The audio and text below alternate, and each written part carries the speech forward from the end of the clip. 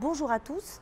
Alors, dans le cadre d'un concours lancé par l'AEFE et l'éducation nationale, relayé ici par notre CPE, Julia Marino, euh, j'ai souhaité en fait faire participer mes classes de 5e, 5e 1, 5e 3, 5e 6, qui fait à peu près 80 élèves, à ce, projet. Alors, ce projet consiste à faire réaliser par les élèves une courte vidéo d'à peu près deux minutes pour dénoncer le harcèlement scolaire.